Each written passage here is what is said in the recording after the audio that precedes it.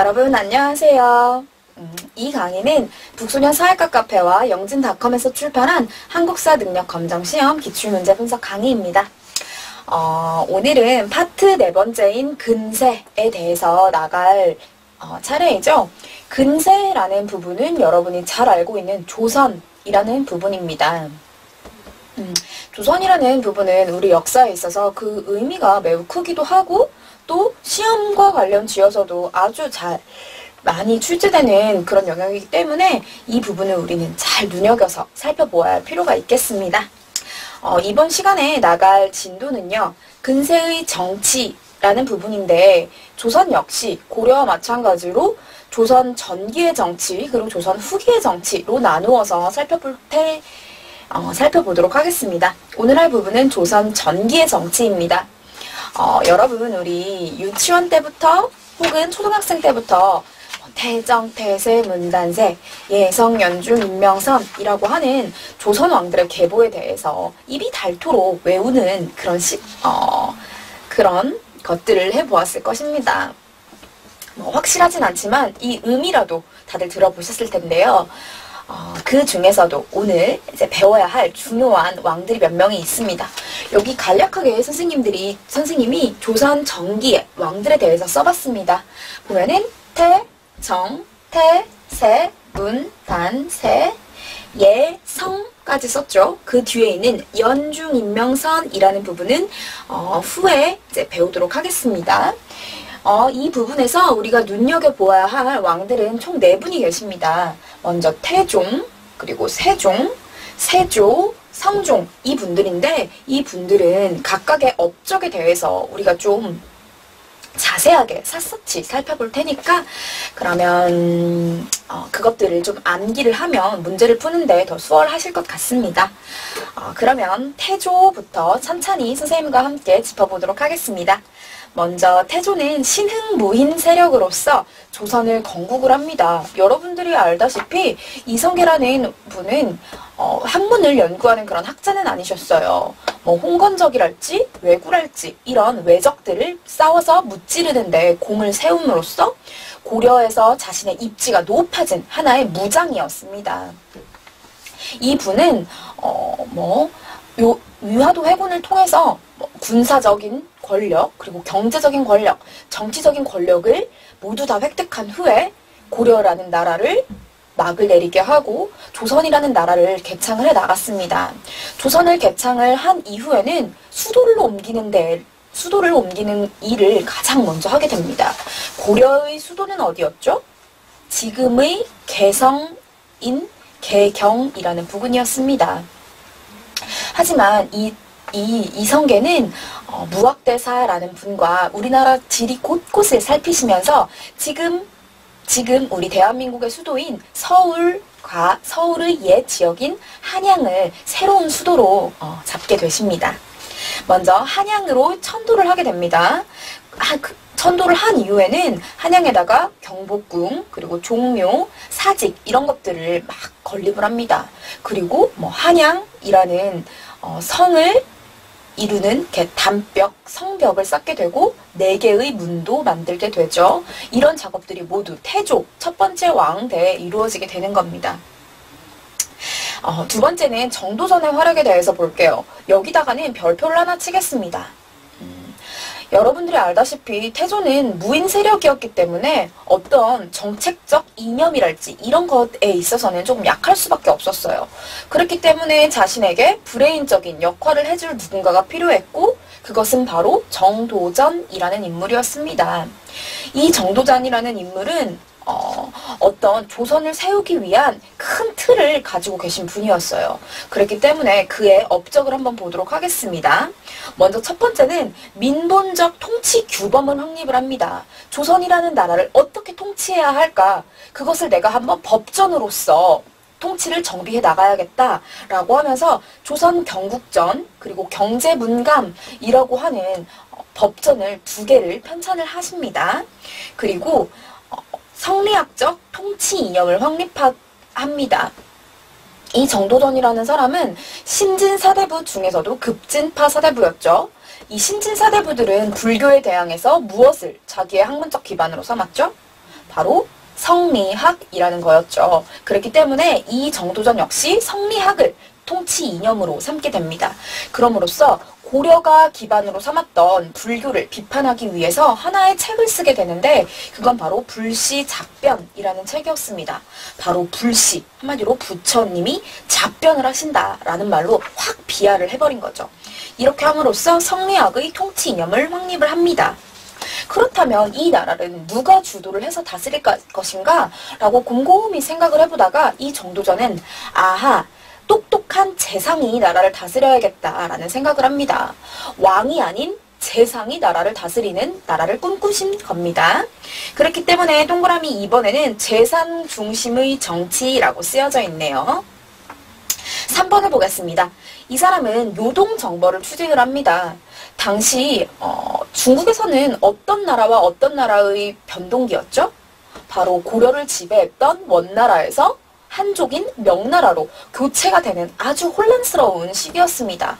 그러자 이 정도, 정도전이라는 사람은 우리 어, 이 혼란기 때 요동까지 침입을 하자. 그래서 요동 까지 우리 조선의 영토를 넓혀나가자라고 하면서 아주 큰 야심을 품게 됩니다. 명으로서는 이 정도전이 당연히 눈에 가시였겠죠. 그래서 뭐 정도전을 잡아들이라든지 정도전의 목을 베라든지 하라는 뭐 명령을 종종 보내곤 했다고 합니다. 하지만 태조는 정도전을 죽이지 않았죠. 이와 관련된 문제 풀도록 하겠습니다. 1번 14회 고급 15원 문제입니다. 밑줄근 그의 활동을 보기에서 고른 것은 이라고 했네요. 그는 남은과 깊이 결탁하여 남은으로 하여금 아뢰게 하기를 사졸은 이미 훈련되었고 군량도 갖추어졌으니 때를 타서 동명왕의 옛 광토를 회복할 만합니다. 하니 태상왕 이성계는 잠옷 그렇지 않다고 하였다. 여기서 동명왕 왕의 옛 강토란 어딜까요? 동명왕은 고구려를 세운 왕입니다. 그렇기 때문에 고구려의 영토인 요동 지방까지 차지를 하자라고 주장을 했던 정도전이구나라고 우리는 유추를 해볼 수 있겠죠. 그러면 정도전의 요동 정벌 계획임을 어, 아른, 후에 이제 보기를 보도록 하겠습니다. 먼저 기억. 한양 도성의 기본 계획을 세웠다. 이거 맞습니다. 이 정도전이 큰 틀을 가지고 있었다고 했죠. 음... 두 번째, 육조 직계제의 실시를 주장하였다? 맞나요? 아니죠. 이 정도전이라는 사람은 재상 중심의 정치를 펴 피도록 했죠. 이 육조 직계제는 후에 배울 태종 그리고 세조라는 왕이 어, 주장을 한 내용입니다. 틀립니다. 디귿 불시잡변을 지어 불교를 비판하였다. 이거 맞네요. 리을 경제육전을 편찬하여 유교적 통치규범을 성문화하였다? 이거 맞나요? 아니죠. 경제육전은 조준이라는 또 다른 급진파 사대부가 쓴 어, 그런 법전입니다. 정도전이 쓴 법전으로는 조선 경국전, 경제 문감 이런 것들이 있다고 했습니다. 그러므로 답은 기억 디귿 2번입니다. 어, 이번에는 어, 태조를 했으니 정종을 간략하게 뛰어넘고 태종이라는 분의 업적을 보러 가도록 하겠습니다. 여러분들이 어, 역사 사극 드라마 또는 역사 소설을 좋아하셨다면 이 태조 정종, 태종에 이르는 역사적인 이야기들을 많이 들여보신 적이 있으실 거예요. 뭐 1차 왕자의 난이랄지 뭐 함흥 차사랄지 이런 내용에 대해서 많이 들어보셨을 텐데 그 이야기를 간략하게 해드리자면 태조라는 이성계에게는 크게 두 명의 어떤 부인이 있었다고 해요. 먼저 첫 번째 부인에게는 다섯 명의 아들이 있었습니다. 그 첫 번째 어, 그 아들인 정종 그리고 태종 뭐 이런 분들이 있었고요. 또 두 번째 부인에게는 당번, 당석이라는 아들이 있었다고 해요. 근데 태조가 두 번째 아내의 속셈에 넘어간 것인지 또는 정도전에 어떤 간청에 의한 것인지 모르겠지만 첫 번째 부인에게서 난 다섯 명의 아들보다는 그 두 번째 난 두 번째 와이프에게서 난 그 방석 방번을 세자로 앉히기를 바랬어요. 그러자 첫 번째 부인의 아들들은 어때요? 이것에 동의를 했을까요? 그렇지 않죠. 그렇기 때문에 이들은 음, 하나의 난을 일으키게 됩니다. 특히나 조선 건국에 큰 공을 세웠던 여기 태종 이방계는 이 사실에 대해 크게 분노를 하게 되죠.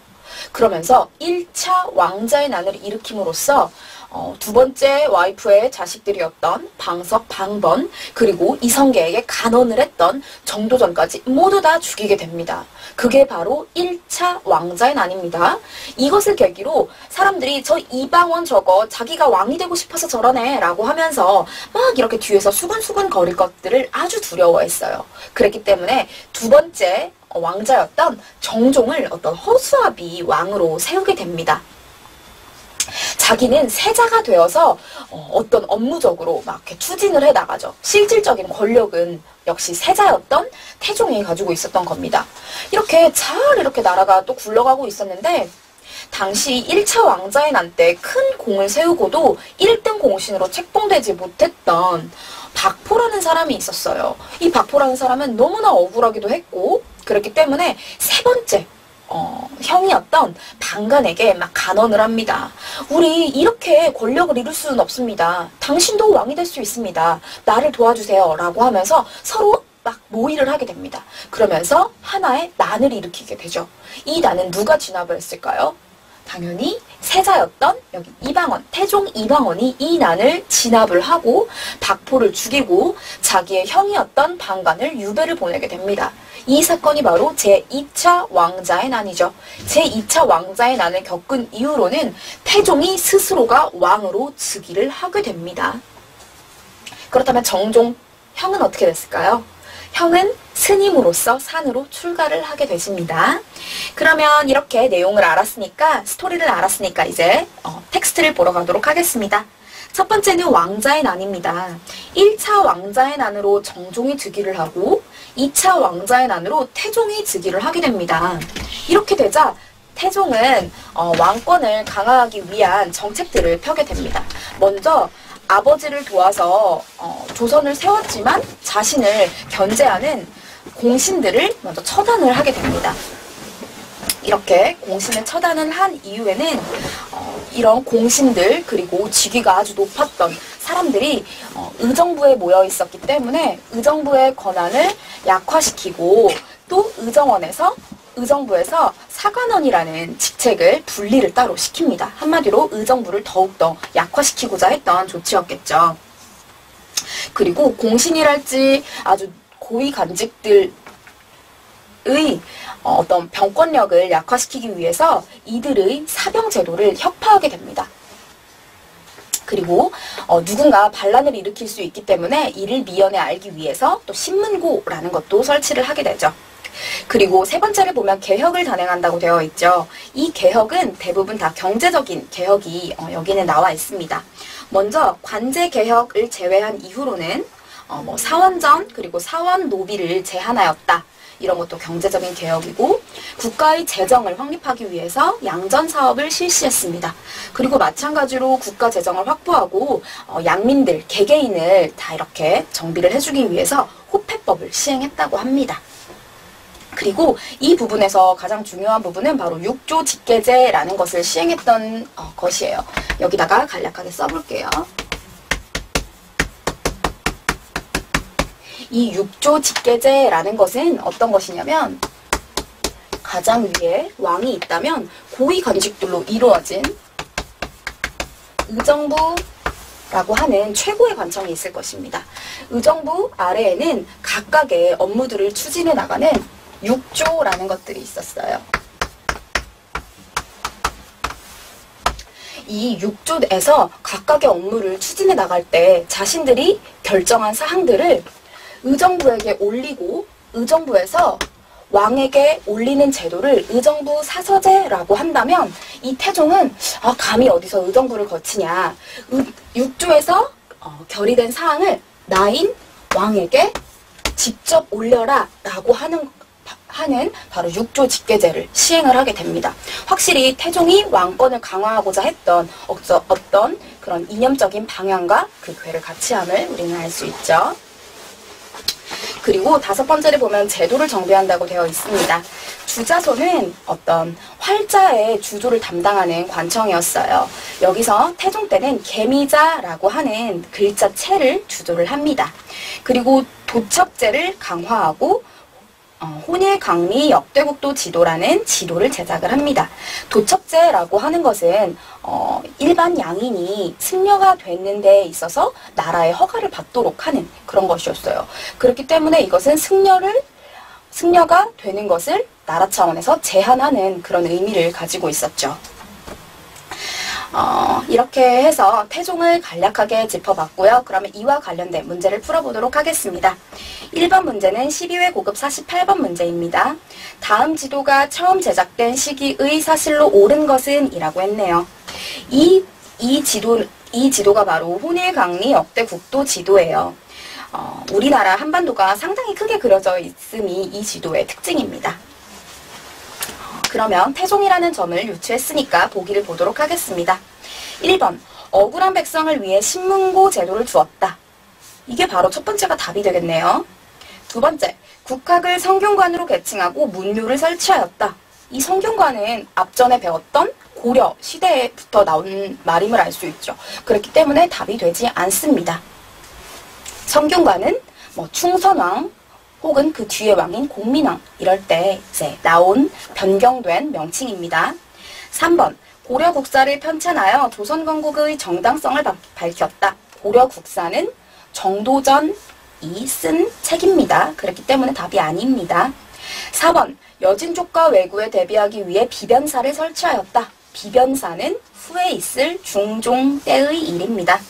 5번 유능한 인사를 재교육하는데 초계문신 제도를 실시하였다. 초계문신 제도는 정조 때의 일이기 때문에 답은 1번 신문고 제도를 두었다가 답이 되겠네요. 이제 세 번째는 우리의 세종대왕에 대해서 배워보도록 하겠습니다. 음, 세종대왕은 어떤 걸로 어떤 이미지를 여러분에게 갖고 있나요? 어, 이 세종대왕은 어, 우리 조선에 있어서 유교 정치를 꽃피우신 분입니다. 그랬기 때문에 이 세종대왕 하면은 유교 정치라는 큰 틀 안에서 모든 업적들을 다 살펴볼 수 있는데요.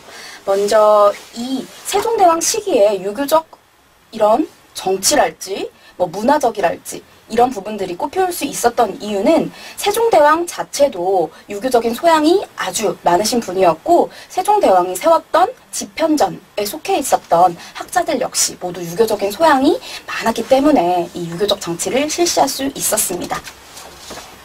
그랬다면 정치 제도 역시 좀 유교적으로 아마 변해 야 했을 텐데요. 이 지편전 학자들은 점점 어, 그 권력이 강해져서 세종대왕에게 말을 합니다. 우리 육조 직계제 말고 조금 더 유교적으로 변화된 방식으로 정치를 진행해 나가보자. 어, 우리 의정부를 다시 활성화시켜서 의정부 내에서 어, 정책을 의논하고 또 결정하고 그것을 왕에게 제가 받아 시행하는 제도로 바꾸어 보자 라고 하는 의정부 서사제를 왕에게 간언을 했고 세종은 이것을 받아들이게 됩니다. 그렇기 때문에 정치적으로는 먼저 의정부 서사제라는 것으로 정치 형태를 바꾸게 됩니다.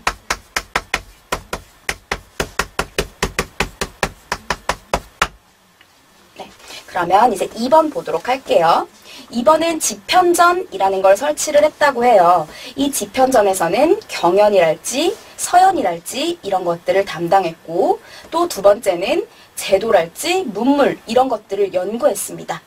그래서 이 연구한 것을 바탕으로 막 책들을 편찬해내게 되는데 이 책들로는 고려 시대사를 정리한 역사책 그리고 지리를 연구한 지리서 그리고 의학서, 농서 이런 것들이 있었다고 해요. 그리고 우리가 제일 잘 아는 한글 이런 것도 창제를 했었죠.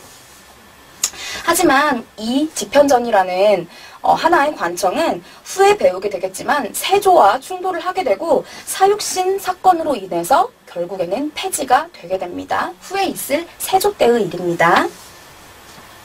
이렇게 지편전 그리고 세조, 세종이라는 분 자체가 유교적 소양이 아주 많은 분들이었기 때문에 백성들에게도 이런 유교적 소양을 알려줘야겠다. 우리나라 전체를 유교적으로 만들어야겠다라고 하면서 유교 윤리를 보급하게 됩니다.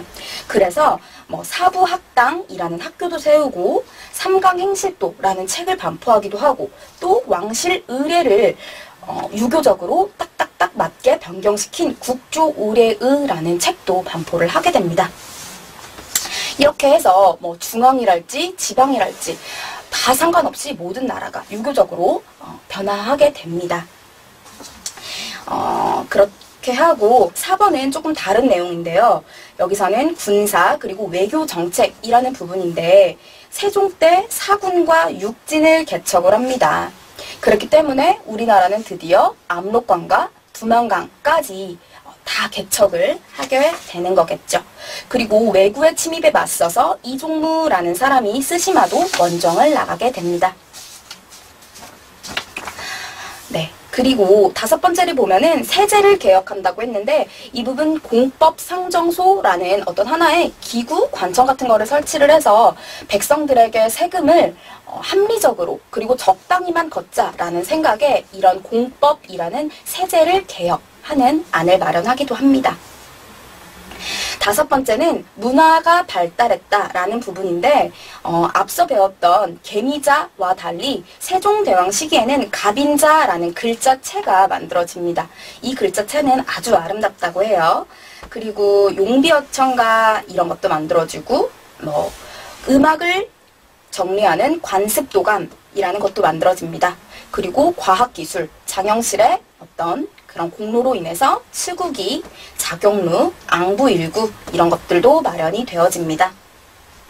네, 그러면 세종대왕을 간략하게 보았으니까 또 이와 관련된 문제를 풀어보아야겠죠. 어, 1번 문제 21회 고급 19번 문제입니다. 밑줄근 왕의 옆쪽으로 오른 것은? 이라고 했네요. 호조에서 아르기를 각도 감사가 빗물의 양을 보고하는 법 여기서 바로 눈치를 채야겠죠. 빗물의 양 그러면 밑에 줄 세 번째를 보도록 하겠습니다. 밑에서 세 번째. 수량이 역시 빗물의 수량을 재어서 빗물의 수량을 재는 기구는 어떤 것이죠? 바로 세종대왕이 만든 치국이와 관련된 것이겠네요. 그러면 세종대왕이라는 점을 알아놓은 상태에서 보기를 보도록 하겠습니다. 어, 기억에서 사병을 혁파한 왕은 바로 태종이었죠. 그렇기 때문에 답이 아닙니다. 니은 주자소를 설치하였다. 이것은 태종 때 있었던 일이겠죠. 디귿 향약 집성방을 편찬하였다. 이게 답이 되겠네요. 어, 앞전에 뭐 집현전에서 의학서를 만들었다고 했는데 그 의학서의 이름이 바로 향약 집성방이라고 하는 것입니다. 리을 의정부 서사제를 실시하였다. 이게 바로 답이겠네요. 이렇게 해서 답은 디귿 리을인 5번이 되겠습니다. 이렇게 해서 태조, 정종, 태종, 세종까지 배웠으니까 우리는 문종, 단종을 간략하게 보고 중요한 왕인 세조에 대해서 보러 가도록 하겠습니다. 네 번째 왕인 바로 세조라는 분입니다. 첫 번째는 개유정란이라는 게 있네요.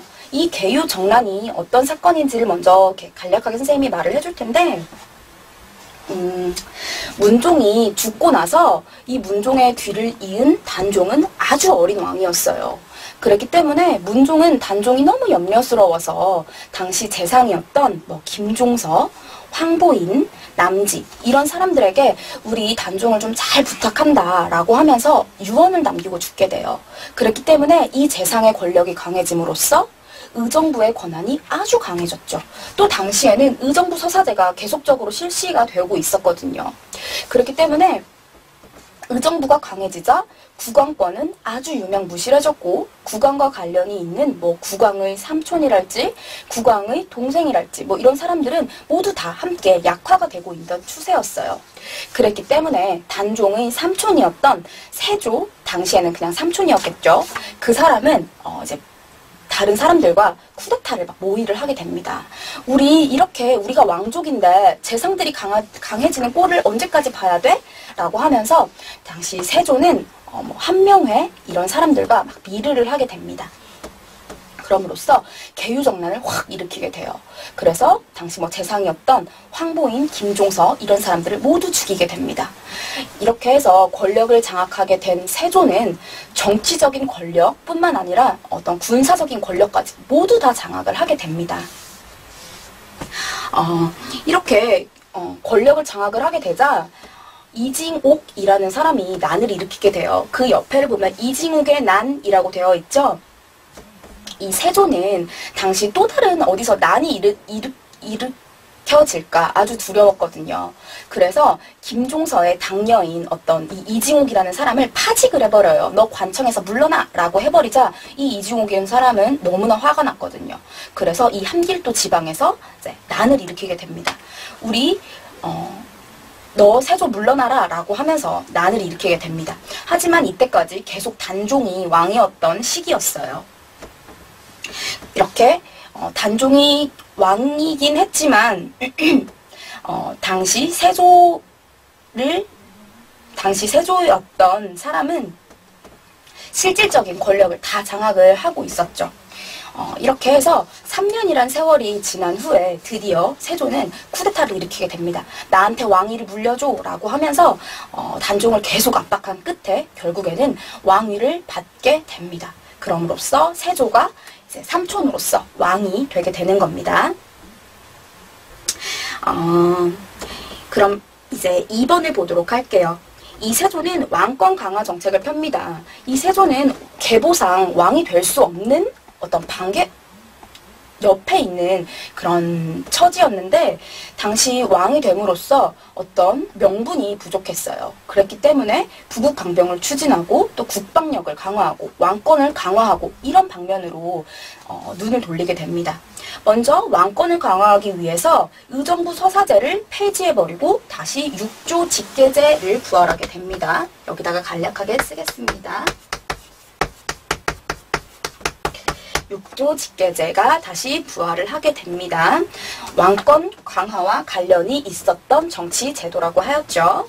그리고 집현전을 폐쇄해버리고 경연도 폐지해버립니다. 그리고 자신의 편이 되어줄 종친들을 막 등용을 하게 되는 거죠. 당시 집현전이 폐지되었던 사, 어, 폐지되었던 것은 위에 있는 뭐 사육신 사건 발발 이것과 관련이 되어서 어, 집현전에서 공부를 했던 뭐 성산문이랄지 뭐 이계 이런 사람들이 어, 떤 단종 보기를 막 꾀했거든요. 그래서 이를 눈치채고 사육신 사건으로 이 사람들을 모두 귀양 보내거나 죽이고 집현전을 폐지를 하게 되는 거였습니다. 세 번째를 볼게요. 부국 강병을 추구했고 국방력을 강화했다라고 되어 있네요. 보법을 통해서 군사 어, 어떤 군사력을 늘리고자 하였고 또 진관 체제를 팝니다. 그리고 직전법을 실시했고 오위제 역시 실시를 합니다. 그리고 이 세조는 편찬 사업도 하는데 경국대전이라는 것을 편찬을 시작을 합니다. 시작을 해서 호전과 형전을 만들어 놓지만 끝내 완성은 하지 못한 채 이제 죽게 되는 거죠. 그리고 다섯 번째로는 토지의 고절을 측량하는 인지의 그리고 규형 이런 어떤 기구들을 통해서 고저 측량을 했다고 합니다. 그리고 이 사람은 불교를 아주 믿었다. 아주 간절하게 믿었다고 해요. 그래서 간경도감이라고 하는 불교 경전을 편찬해내는 관청을 설치하기도 하고 원각사라는 절 그리고 원각사 10층 석탑이라고 하는 석탑도 만들어냅니다. 당시 자기가 뭐 괴유정난 혹은 왕이 되는 과정에서 죽인 사람들이 너무 많았기 때문에 그것들에 대한 두려움 때문이었는지 불교를 아주 간절히 믿었다고 해요. 근데 여기서 우리가 또다시 주목해야 할 점이 한 가지가 있습니다. 세조가 왕 위를 유지하는 동안에 새롭게 자기의 측근 세력으로 등용을 했던 인물들이 아주 많아요. 그 인물들에는 집현전 세력들도 있을 것이고 또는 새롭게 등용했던 인물들도 있을 것이죠. 이 새로운 인물들은 세조시대에 높은 관직을 얻기도 했고 또 많은 땅을 얻기도 해서 하나의 거대한 권력체를 만들어내게 됩니다. 이 권력체를 우리는 통틀어서 훈구파라고 부릅니다. 어, 이 훈구파라고 하는 정치 세력이 어, 세조 시기에 만들어진 거죠. 쌤이 세 종에다가 썼네요. 훈구파라고 하는 정치 세력을 좀 기억을 해두세요. 그러면 이와 관련해서 이제 문제를 풀도록 하겠습니다. 어, 1번 15회 고급 17번 문제입니다. 밑줄근 기억에서 미음 관련된 설명으로 옳은 것은? 이라고 했네요. 신숙주의 연보를 보는 겁니다.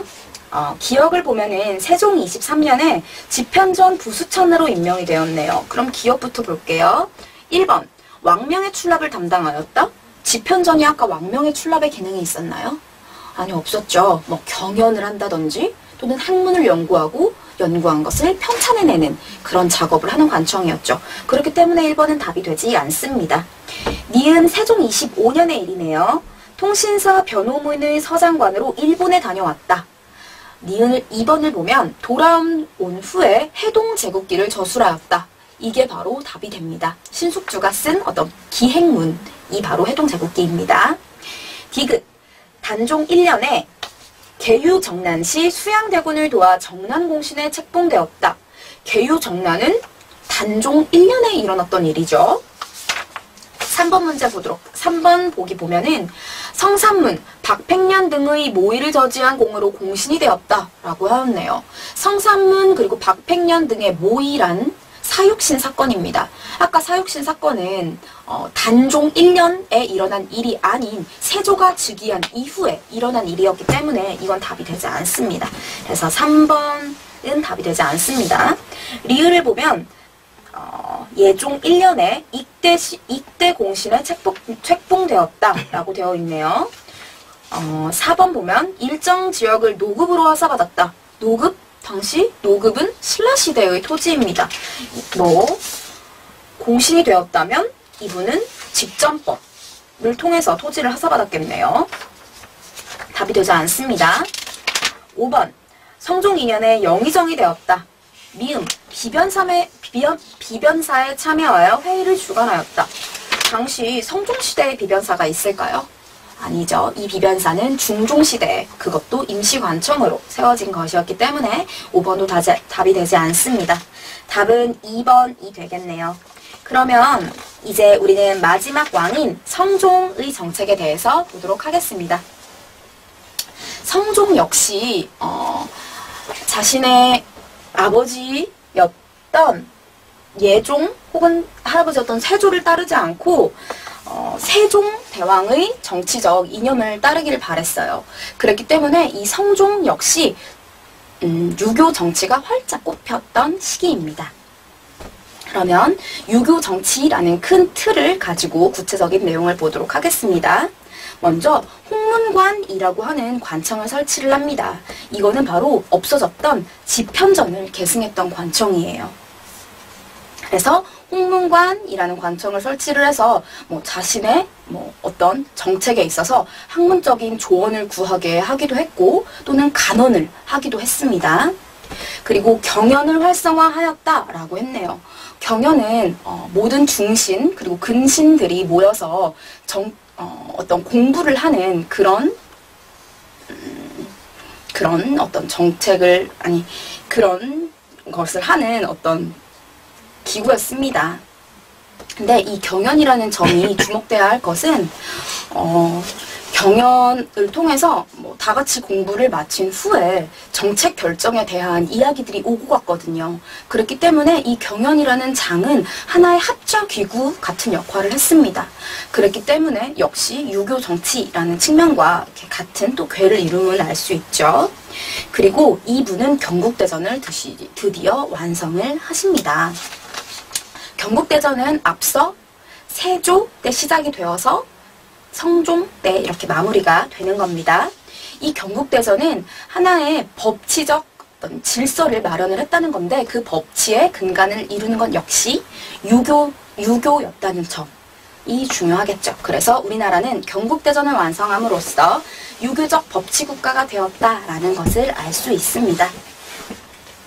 두 번째는 수렴 청정을 했다고 해요. 이 수렴 청정이라는 말은 왕이 너무 어리기 때문에 왕을 보살피는 누군가들이 정치를 대신한다라는 것인데 어, 성종이 어렸을 때 7년간은 이런 사람들이 대신 정치를 해줍니다.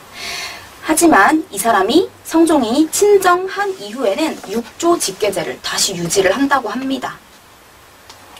그리고 뭐 양사, 언론 기능과 홍문관의 언관화가 이루어졌다. 역시 유교 정치적 특징을 갖고 있죠. 여기서 또 우리가 하나 중요하게 봐야 할 부분이 있네요. 세조 때 등장했었던 정치 세력이 누구였죠? 바로 훈구파였죠. 이 훈구파는 예종 그리고 성종기를 거치면서 더더욱 그 권세를 늘려나갔어요. 이에 대해서 성종은 아 그들을 견제할 누군가가 필요하다라는 생각을 했었고 또 아 우리 유교 정치를 더욱더 확실하게 이루, 이루어줄 누군가가 필요하다라는 생각들이 여러 생각들이 어, 통합되어져서 새로운 인물들을 등용을 하게 됩니다.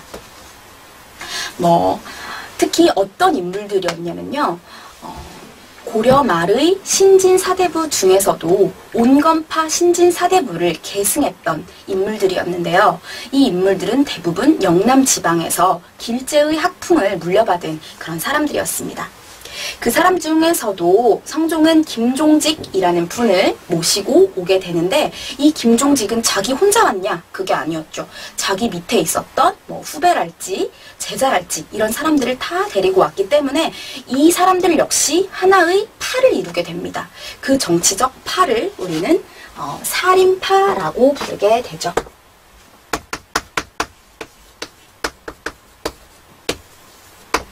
이 살인파는 어, 유교적인 소양이 아주 뛰어났던 사람이었기 때문에 훈구파와는 당연히 갈등이 일어날 수밖에 없었겠죠. 이 훈구파는 어, 점점점 정치 권력하면서 아주 부정부패를 많이 저지르고 다녔거든요. 그렇기 때문에 이 살인파들은 이들을 견제하는 역할로서 이 성종 때는 많이 활약을 했습니다. 이렇게 뭐 훈구파, 살인파라고 하는 두 개의 파가 어, 이렇게 조선 정계에는 등장을 하게 되는데 후에 배울 연산군 중종 때를 거치면서 이들은 아주 치열하게 싸움을 하게 되는 거죠. 그게 바로 사화라고 하는 부분인데 그것은 뒤에 배우도록 하겠습니다. 어, 그리고 4번을 보겠습니다. 음, 이 사람은 유교라는 부분에 가장 큰 중점을 두고 있었기 때문에 당연히 억불 정책을 강력하게 실시를 해 나갑니다. 그리고 각종 편찬 사업을 실시를 해 나가는데 뭐 동문선, 동국여지 승남, 동국통감 이런 것들을 어, 책을 마련해 나갑니다.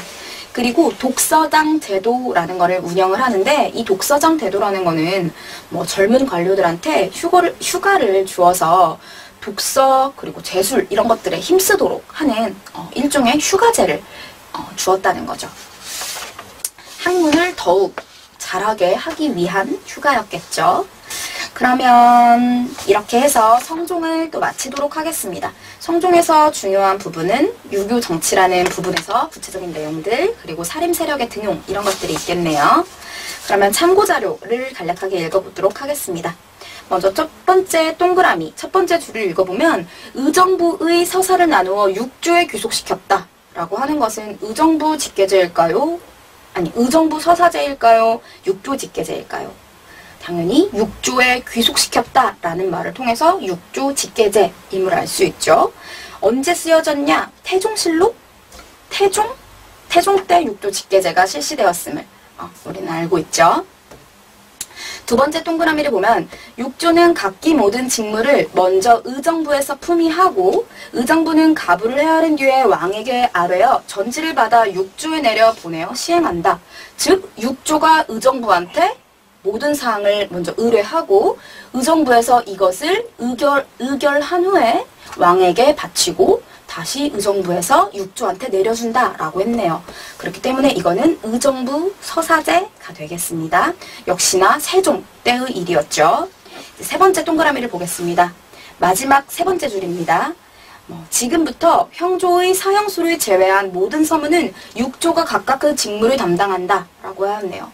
그래서 육조 직계제임을 알 수 있습니다. 역시 세조 때 쓰여졌던 글이네요. 이와 관련해서 문제 풀도록 하겠습니다. 1회 1번 12회 고급 19번 문제입니다. 가의 업적으로 옳은 것은 어, 13세의 나이로 왕위에 올라 7년간 정의대비가 수렴청정을 하였다. 수렴청정 누구죠? 바로 어, 성종 때의 일이었죠. 그리고 개비윤 씨가 투기하고 불손함으로 패서인한 후 사사하였다. 죽였다. 음, 라고 했네요. 그리고 마지막을 보면은 용산 두모포에 독서당을 설치하여 젊은 관료들에게 휴가를 주어 독서 제술에 전념하도록 하였다. 독서당 제도를 실시했음을 알 수 있네요. 그래서 우리는 이, 이 글들을 통해 성종의 양력임을 어, 유추해 볼 수 있습니다. 보기를 보면 1번 진관체제를 처음으로 실시하였다. 진관 체제는 세조 때 부국 강병 정책이었죠. 2번 사병을 없애고 친위군사를 늘렸다. 사병을 없앤 거는 바로 태종 때의 일이었죠. 3번 규장각을 정책연구기관으로 육성하였다. 규장각은 후에 있을 정조 때의 일입니다. 4번 편년체 역사서인 동국통감을 편찬하였다. 동국통감은 성조의 편찬물입니다. 5번 경기도에서 시험적으로 대동법을 실시하였다. 이건 바로 광해군 때의 일이기 때문에 답은 4번 동국 통감이 되겠습니다. 자, 2번 11회 고급 18번 문제입니다. 가나 정치제도에 대한 설명으로 옳은 것은 이라고 했네요.